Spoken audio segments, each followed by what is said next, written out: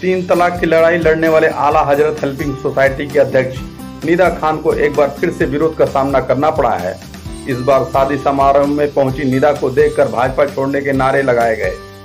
Marriage hall से बाहर करने का मामला सुर्खियों में आया। पुलिस को दी तहरीर में निदा ने खुद और परिवार पर जानलेवा हमले का आरोप भी लगाया।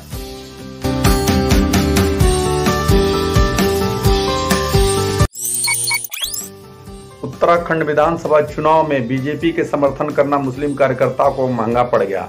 इसी रंजिश के चलते मोहल्ले के मुस्लिम लोगों ने कार्यकर्ता और उसके परिजनों की पिटाई कर दी। हालाँकि मामला में दोनों पक्षों की शिकायत पर पुलिस ने 10 लोगों के खिलाफ केस दर्ज किया है।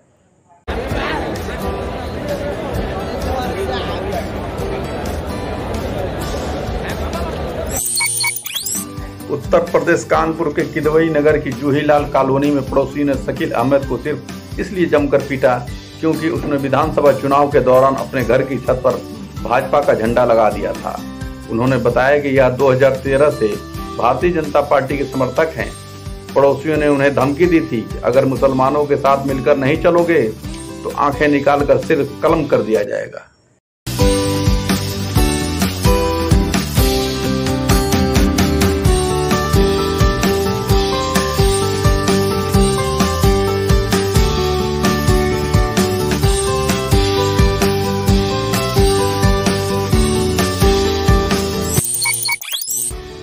कुशीनगर के रामकोला थाना के कटघरई गाँव में बाबर नाम के 28 वर्षीय युवक की पीट पीट कर हत्या कर दी गई।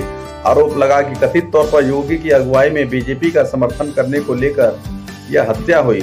आरोप बाबर के पटीदारों और गाँव के प्रधान पर लगाया जा रहा था। जो समाजवादी पार्टी का नेता है, सीएम योगी ने इस हत्याकांड पर दुख ज़ाहिर किया था। एसओ को लाइन हाजिर कर दिया गया। भाजपा का सदस्यता लेने वाले मुस्लिम कार्यकर्ताओं पर कट्टरपंथियाँ कहीं कहीं पर कहर बरपा रहे हैं। यह उन लोगों को मालूम होना चाहिए कि यह देश सबका है। देश कट्टरपंथी से नहीं, संविधान और कानून से चलता है। जो भी कानून तोड़ता है, प्रशासन सख्ती से अपना काम करती है। धार्मिक कट्टरपंथ हिंदू, मुस्लिम, सिख, ईसाई, सभी के लिए घातक है।